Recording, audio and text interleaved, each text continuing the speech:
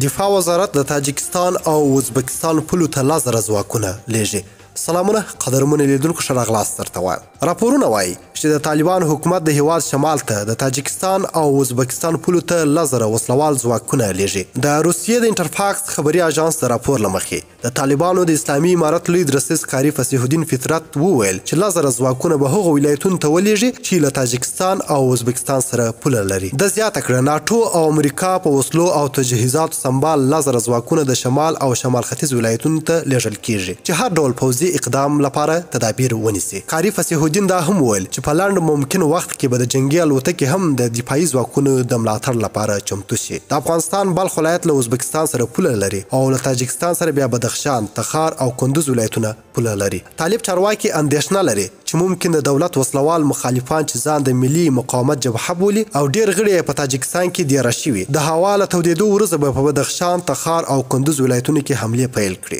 ظاهراً طالبان د ترکمنستان او ایران له لوري افغانستان ته د ناامنۍ غځېدو اندېښنه نه لري. لوی درستیز قاري فصیح الدین فطره چې د پنجشېر په فاتح هم مشهور دی، په خپله هم د بدخشان ولایت د وردوج ولسوالۍ اوسېدونکی دی. ډېره مننه چې ویډیو مې راسره تر پایه وکتل. تر بیا او بلې ویډیو، الله پامان.